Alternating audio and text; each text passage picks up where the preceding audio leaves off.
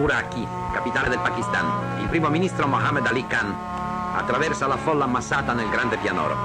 Offriamo un autentico record cinematografico. L'obiettivo è riuscito con l'aiuto della panoramica ad inquadrare un milione di fedeli adunati in questa collettiva preghiera all'aria aperta. Mai la cornice dello schermo ha contenuto tante persone. Non paiono più uomini, ma spighe di grano sotto il muoversi del vento. Con questa festa annuale i musulmani celebrano il sacrificio di Isacco.